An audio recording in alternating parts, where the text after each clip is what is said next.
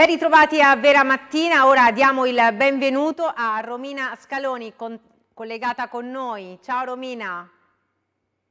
Salve a tutti, ciao Stefania. Ciao Romina, grazie per aver accettato il mio invito. Ti abbiamo eh, conosciuta e abbiamo seguito la tua vicenda umana e giudiziaria con il processo a carico di Claudio Pinti, il quarantenne di Montecarotto che consapevole di essere eh, positivo all'HIV eh, contagiò eh, te ma anche la sua ex compagna morta nel 2017. Voglio ricordare che la Corte di Cassazione ha inflitto a Pinti una condanna in via definitiva a 16 anni e 8 mesi per omicidio volontario e lesioni gravi. Un percorso di sofferenza ma anche di eh, coraggio, di grande coraggio che eh, tu hai eh, messo nero su bianco in questo eh, libro che eh, ha un titolo importante perché è riferito ad una data eh, per te incisa ecco, nella, nella, tua, nella tua vita, 4 maggio 2018. Vogliamo partire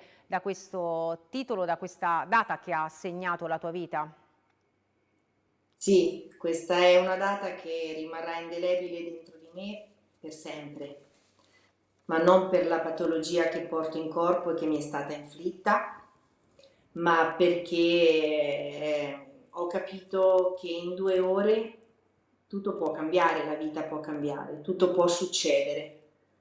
E quindi è una data dove quel messaggio della cognata di lui mi diceva di, del suo stato e da lì è, mi è crollato il mondo addosso. E quindi, e quindi la vita capisci che da lì si capisce che cos'è la vita, che diamo tutto per scontato invece quando, quando pensi, perché poi come io dico sempre ero rimasta indietro e non ero informata anche perché non c'è informazione e quindi ho pensato che avesse, la mia vita avesse una scadenza. E invece per fortuna ringraziando Dio oggi funziona diversamente, chi si cura non infetta, non, non è contagioso e può vivere una vita dignitosa, ovvio che meglio essere sani, meglio non prendere medicine, queste sono medicine eh, non comuni, abbastanza toste, ecco, quindi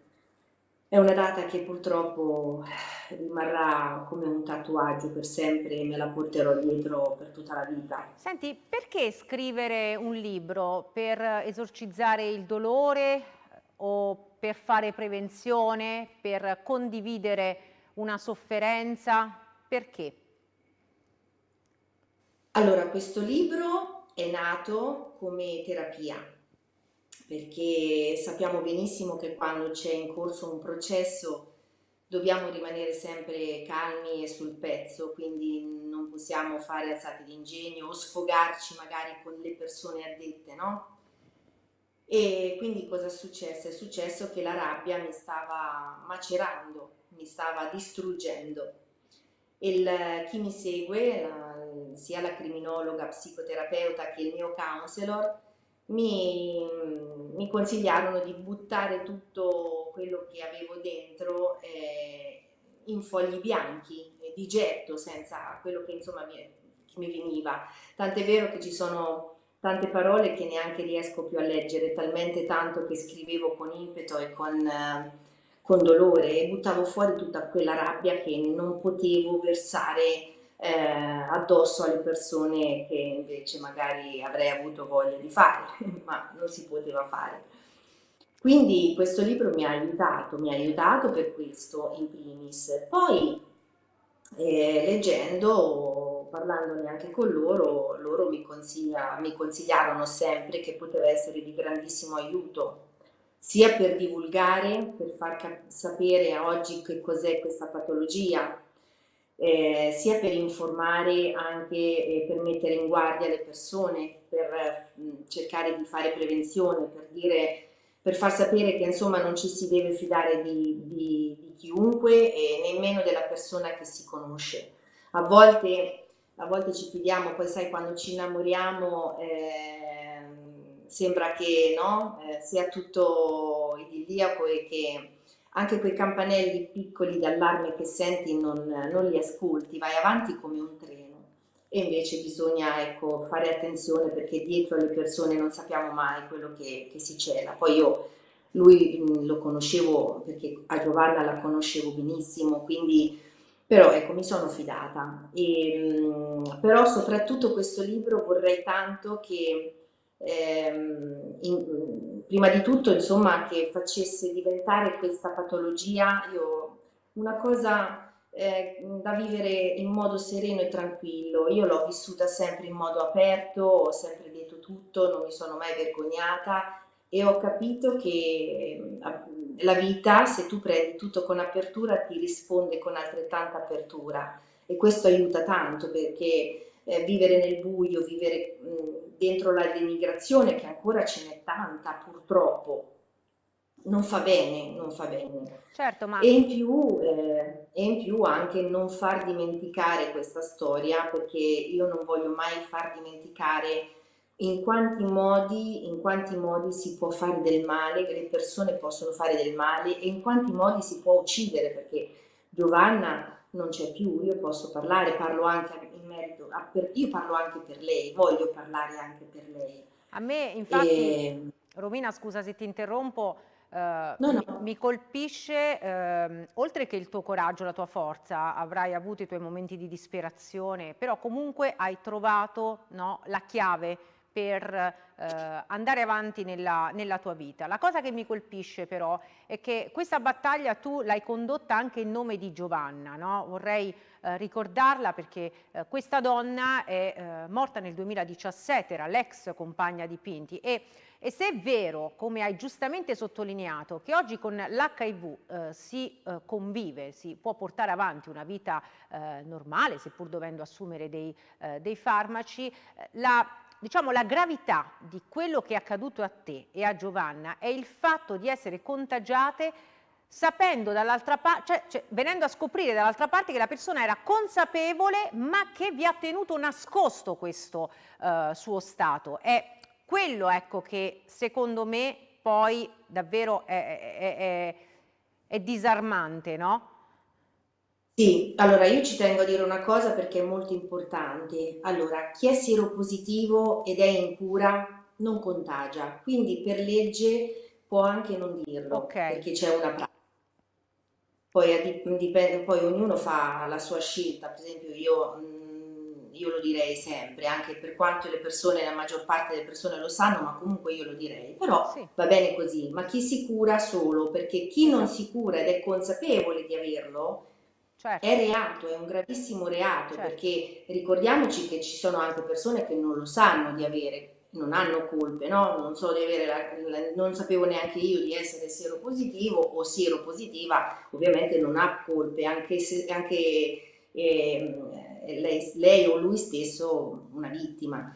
Però chi lo sa e non si cura e non è in cura e sa benissimo di contagiare, e questo è un reato gravissimo. E, e, e questo ci tenevo a dirlo perché ecco, non è che siamo tutti untori e ricordiamoci anche che eh, Claudio Pinti non ha fatto del male solo a me e a Giovanna, ma ci sono tantissime altre persone coinvolte. Anzi, lui si vantava no, di avere insomma, un giro di donne, sì. se, se, ricordo bene, insomma, nel, nel, libro. Sì, sì, sì, io l'avevo purtroppo sottovalutato questa cosa, pensavo che lo dicesse per farsi grande e invece... Peraltro, invece... Eh, peraltro oltre a ciò che racconti tu, eh, vorrei anche ricordare che questo libro, eh, per chi lo, lo, leggerà, offre degli spunti non da poco perché eh, ci sono anche delle dichiarazioni testimoniali ehm, riprese dagli atti processuali eh, che ehm, fanno ben capire no, al lettore di cosa, di cosa, si sta parlando. Quindi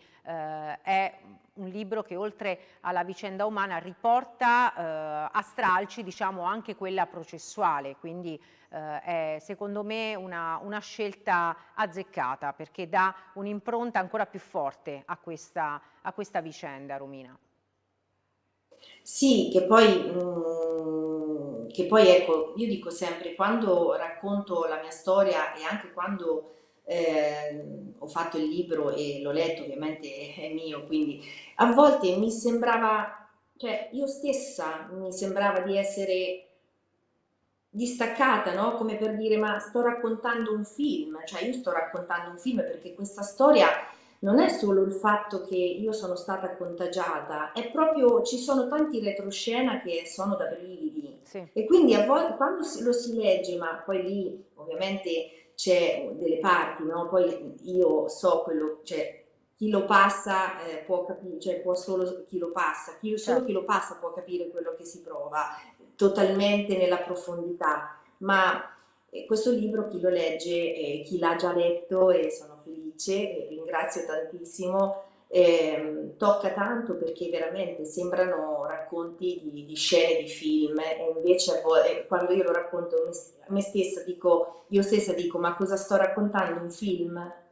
E poi dico no, è la realtà, sono io che l'ho vissuta questa cosa, io e tutte le altre persone che sono coinvolte. Avrebbe potuto cioè, viverla cose... chiunque, no? Perché del resto sì. ehm, il eh, Claudio eh, si presentava come una persona, insomma, che eh, aveva il suo fascino, come tu eh, stessa eh, ricordi in questo libro, no? mm, sapeva tenere una conversazione, eh, sapeva eh, come, dire, come, come, corteggiare una donna, la vostra storia è iniziata come quella in un film che è in un film romantico, no? con un corteggiamento, ehm, ecco, eh, proprio, proprio, come due innamorati, perché eh, nei primi tempi è così che, che viene descritta, ma tu hai anche parlato di piccoli segnali, io eh, per esempio eh, vorrei riferirmi anche a quelle piccole discussioni su, sull'assunzione anche di una semplice tachipirina, no?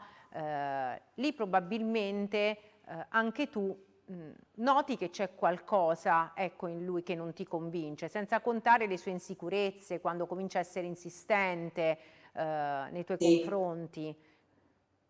Sì, sì, lui, lui faceva, lui praticamente prose- stava proseguendo tutto quello che faceva con Giovanna, lo stava facendo e proseguendo con me.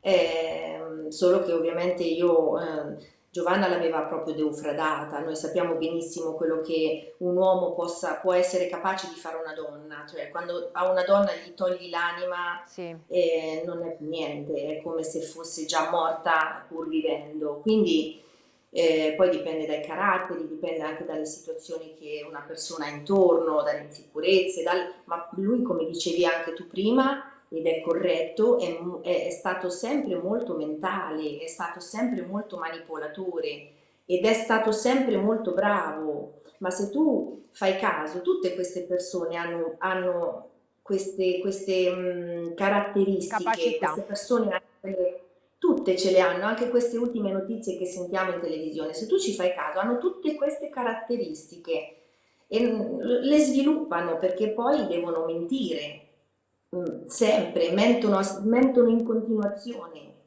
Senti, vorrei ripercorrere brevemente questa, questa, storia. Abbiamo preparato un brevissimo servizio, lo ascoltiamo insieme e poi torniamo un attimo sul tuo libro. Va bene? Sentiamo.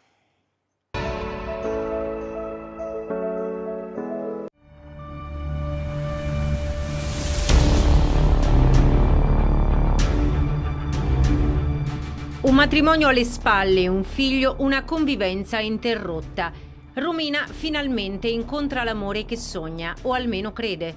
Lui si chiama Claudio, un uomo rimasto vedovo con una figlia. Persona riservata, affascinante, intrattiene da subito conversazioni interessanti. Il suo romanticismo e le sue buone maniere conquistano Romina. La storia nei primi tempi è da film, mille attenzioni, coccole, divertimento e tanta passione, ma il rapporto presto mostra le sue prime crepe. Lui diventa insicuro e pressante. Romina coglie i primi segnali che qualcosa non va, ma il peggio deve ancora venire. La donna non si sente bene, lui, contrario alle cure tradizionali, solleva dubbi anche sull'assunzione di una semplice tachipirina. Romina non migliora e continua ad avere strani sintomi. Poi arriva il 4 maggio 2018, giorno in cui la donna riceve il messaggio della cognata, la quale le confida che Claudio è positivo all'HIV. Per Romina è uno shock. Lui sminuisce la donna, nel frattempo fa le analisi e quando arriva il risultato è il suo medico curante a comunicarle la sua sieropositività. Romina si sente mancare, ma affronta il ricovero e allo stesso tempo ricorre alla giustizia. Parte la denuncia, poi il processo con i tre gradi di giudizio. Romina combatte per se stessa, ma anche per Giovanna, ex compagna di Claudio, infettata anche lei dallo stesso uomo e deceduta nel 2017. La forza di una donna, di una mamma, non conosce ostacoli. Romina lo insegna attraverso il coraggio dimostrato in questi anni che l'ha portata anche a mettere nero su bianco la sua storia. Il libro 4 maggio 2018 è un diario, un viaggio nella sofferenza, un percorso che però lascia spazio alla generosità nel voler aiutare gli altri facendo prevenzione. La Corte di Cassazione ha condannato Claudio Pinti a 16 anni e 8 mesi. Il quarantenne di Montecarotto è stato ritenuto colpevole di aver contagiato con l'HIV la sua ex compagna Giovanna Gorini e poi la fidanzata Romina Scaloni. Per gli Ermellini la morte della Gorini fu conseguenza di tali rapporti sessuali che produssero l'infezione che a sua volta determinò l'insorgere dell'AIDS risultata letale. Romina ha ripreso in mano la sua vita. Con l'HIV si può convivere, ma occorre fare informazione affinché ciò che ha vissuto lei non accada mai più a nessuno.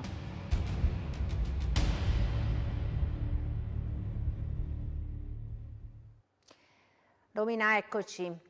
Volevo, eh, tornando al tuo libro, ehm, riprendere un po' l'immagine finale, no? eh, che è riferita al tuo papà.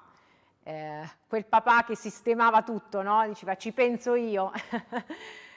noi, noi, figlie sì. femmine sappiamo che vuol dire quella frase perché dice tutto, ci eh, fa sentire al sicuro. E, e devo dire che eh, il libro è un po' un cerchio che, che, si chiude da questo punto di vista, perché tu parti un po' con i tuoi ricordi eh, da, da, ragazzina in, in, famiglia e da donna adulta eh, riprendi appunto quei, quei ricordi in mano. Sì, sì, lui riprendo questi ricordi perché ovviamente è stata anche una scelta per cercare di rendere questo libro non proprio, ecco, c'era il rischio che se partivamo subito forte eh, le persone, anche quelle più sensibili, non riuscivano a finirlo a, a, leggere, quindi è stata anche una scelta per cercare di, farci, di fare arrivare le persone a leggere quelle, di farle arrivare alla, insomma, alla, alla botta grossa, piano piano certo. con calma. E il mio papà purtroppo io l'ho perso ad agosto del 2020, non ha potuto essere vicino a me nel momento che la Cassazione ha confermato eh, tutto e anche in questo momento, per quanto io so che lui è sempre con me, lui è sempre con me, mi dà dei segnali e comunque sia eh, è una parte importante. Eh, mi manca tanto perché lui sdrammatizzava tante, il suo sdrammatizzare era una cosa che a me ha fatto sempre tanto bene e mi manca tanto. Quella farfalla in copertina è riferita a lui? Non lo dico. Ok, allora non, non lo posso dire troppo. perché non voglio spoilerare. non svegliamo non troppo, no. Dire. Comunque eh, consiglio... Diciamo che la copertina sì. Scusami Steffi, sì. diciamo che la copertina eh, che è stato bravissimo l'illustratore mi ha disegnata e allora diciamo che la copertina c'ha tutto un nesso con il libro, sia la luce, sia sì. i piedi scalzi, no? Perché io ho sempre detto che ho attraversato l'inferno a piedi scalzi e quindi ecco si evince che c'è anche un po' il fuoco, no? Quindi e, e c'è sempre stato eh, qualcuno eh, che mi ha accompagnata e c'è tuttora, sempre. E questa è una, una cosa che a me ha sempre dato eh, forza e, e non mi sono mai sentita sola. E questo in questi casi, in queste circostanze, è tanto importante. Senti, e oggi che donna, che donna vedi quando ti guardi allo specchio? Sei comunque fiera del, eh, di, questo, di, questa uscita dall'inferno, se, se, possiamo parlare di uscita, perché poi comunque i demoni no, uh, ci, ci circondano sempre, quelli legati alle nostre sofferenze. Ma, eh, eh, allora, eh, io dico sempre, no? Ehm, somatizzare una patologia una volta che prendi consapevolezza e sai come funziona personalmente io è stata la prima cosa che sono riuscita a, a superare. Ma quello che dico io è che al male che ti fanno le persone e non c'è una cura e non si supera mai, non si esce mai dall'inferno. Eh, devi solo imparare a conviverci, devi tram tra tramutare, trasformare eh, il dolore in qualcosa di costruttivo per andare avanti. Io ci sono stati dei momenti che sinceramente sprofondavo eh, continuamente, mi rialzavo e, e sprofondavo, mi rialzavo e sprofondavo e anche quando ho visto le, ho ripercorso adesso le immagini che ovviamente anche esse rimarranno sempre dentro di me indelebili, e capisci proprio che mai si passa realmente quello che, quello che mi è stato fatto, non, non, non, lo, non lo, passerò mai. Ho imparato a, a trasformarlo e questo libro può essere una parte di partenza per una trasformazione. Sono tanto cambiata, mi ha cambiato tantissimo. Questa, questo trauma, questa, questa storia mi ha cambiato tanto. Mi ha tolto tanto, ma mi ha dato anche tanto. E anzi, io volevo ringraziare tutte le persone che mi supportano e che mi stanno vicino, sia le persone più strette che anche tutte le persone d'Italia e anche alcune pochissime fuori, fuori Italia. E, perché in certi momenti quando pensi che non, sei, non, non, è, non, hai sempre la sicurezza che stai facendo bene, invece quando vedi che insomma hai riscontro positivo, allora lì prendi la forza per andare avanti. E ringrazio tanto anche te, anche tutti voi che mi avete sempre aiutato in questo e mi aiutate anche a divulgare, che è importante, tanto. 4 maggio 2018 lo potete ordinare nelle eh, principali insomma, librerie, però vorrei ricordare che eh, può essere scaricato anche e acquistato tramite Amazon, è molto semplice, insomma in pochi clic lo si può, lo si può avere, scorre bene, è veramente un viaggio eh, che può insegnare, può insegnare tanto a tutti, a tutti, grandi e piccoli. Sì, poi ci sono anche, ci sono anche su altre piattaforme, ebook su tutto il mondo in tutto il mondo. Invece cartaceo c'è su Feltrinelli, Mondatori, BS, insomma Giardino di Libri, in tante piattaforme, Amazon ovviamente è quello che è più comune eh, a sì. tutti. quello che ho usato anch'io.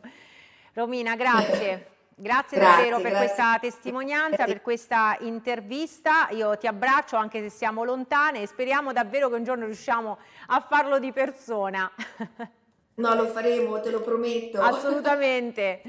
Ciao Romina, grazie, grazie. A Romina eh, Scaloni, grazie ancora per essere uh, stata con noi. Uh, ci separiamo solo per un attimo, eh, torniamo tra pochissimo.